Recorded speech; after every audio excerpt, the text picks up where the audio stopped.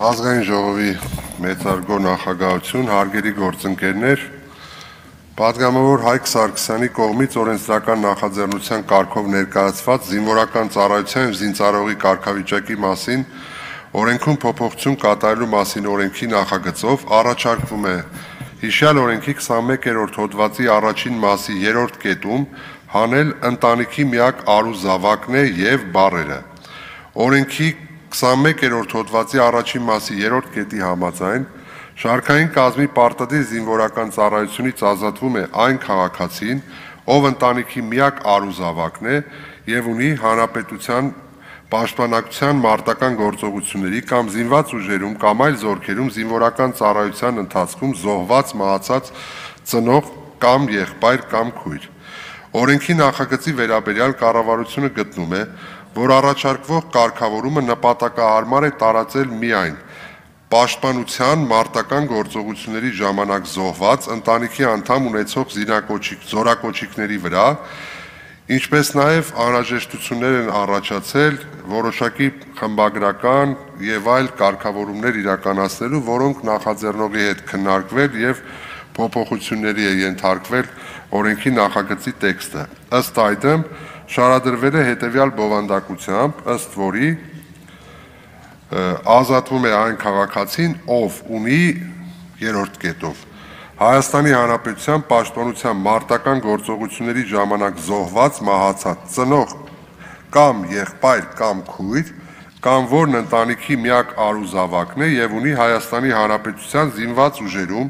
կամ այլ զորքերում կամ Հայաստանի Հանրապետության միջազգային պայմանագրերով Հայաստանի Հանրապետությունում տեղակայված օտարերկրյա պետությունների զինվորական ստորաբաժանումներում զինվորական ծառայության ընթացքում զոհված, մահացած ծնող կամ եղբայր կամ քույր։ Այս առնչությամբ հաշվի առնելով, որ նաև մեր դիրքորոշումը եւ նկատառումները հաշվի են առնվել եւ ունենք կոնսենսուս նախաձեռնողի հետ, Կառավարությունն առաջարկում է օրենքի նախագիծն ընդունել ներկայացված առաջարկությունների հաշվառմամբ։ Սակայն եթե թույլ տաք, օգտվելով առիթից, եթե ժամանակ ունեմ, մի քանի նկատառում այդ հարցադրումների հետ կապված, նախ ցանկալի չէ նման թվեր հնչեցնել, որովհետև մենք 3 գերատեսչություններ մեզ հարցադրում են իրականացվել, թե որքան այս ազատումներ կամ տարկետումներ են եղել, մենք միշտ մերժել ենք եւ այս ամբիոնից ցանկալի չէ, բայց ընդհանուր առմամբ տարկետում, ազատում բոլորը միասին մոտ է այդ թիվը։ Քիչ թե շատ, բայց դա ասեմ, որ նայած երբ որքան եւ ընդհանուր առմամբ այդ թվին մոտ թիվ է դառնում Երկրորդը, ինչ վերաբերում է Տիկին Թովմասյանի առաջարկությանը, նախապես ասեմ, որ Պաշտպանության նախարարությունը, եթե նույնիսկ պարոն Սարգսյանը կողմ է այդպիսի փոփոխության, մենք մեր առարկությունն ենք ներկայացնելու, որովհետև սկզբունքն է ըստ էության խախտվում, որովհետև եթե նույնիսկ թիվը քիչ լինի, հենց օրենքի տրամաբանության մեջ դրվել է միակ արուզավակն է եւ այս փոփոխությունը միտված է ընտանիքների վիշտը մեղմելուն եւ այդ դրամաբանությամբ մենք ծառայության ընթացքում զոհված մահացած զինծառայողներին, եթե դա չի տեղի ունեցել մարտական գործողությունների եւ պաշտպանության ընթացքում, մենք դեմ ենք լինելու այդ առաջարկությանը, ինչ վերաբերում է որ կամավորության սկզբունքում կարող էին կա սկզբունքով կարող է ծառայել նշեմ որ չի կարող ծառայել այս կարգավորումներով եթե ինչ որ փոփոխության ենթարկվի հնարավորություն միգուցե տրվի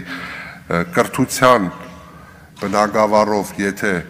ունի տարկետում եւ նա ցանկանա կամավորության սկզբունքով ծառայել բնականաբար օրենքը թույլատրում է իսկ այս փոփոխության արդյունքում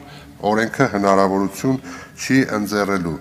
իսկ պայմանագրային զինծառայող որպես ծառայելու դեպքում սույն օրենքի 38-րդ հոդվածը ներկայումս կարգավորում է պայմանագրային ծառայության անցնելու դրույթները եւ պետք է լինի ինքը արդեն 20 տարեկան Այսինքն չի կարող, եթե նույնիսկ տարածվի իր վրա, չի կարող 18 տարեկանում ինքը կամավորության սկզբունքով ազատվի, սակայն պայմանագրային ծառայության անցնի։ 20 տարեկանից սկսած իրենք կարող են նաև ծառայել նախորդ հանձնաժողովի նիստի ընթացքում քննարկվեց այս հարցը, ընդհանուր կարող են, եթե բարձրագույն կրթություն ունենալ, սպայական պաշտոնների նշանակվել եւ ծառայել որպես սպաներ։ Շնորհակալություն։ Շնորհակալություն պարոն Սարգսյանին հարցերի համար հերթագրում։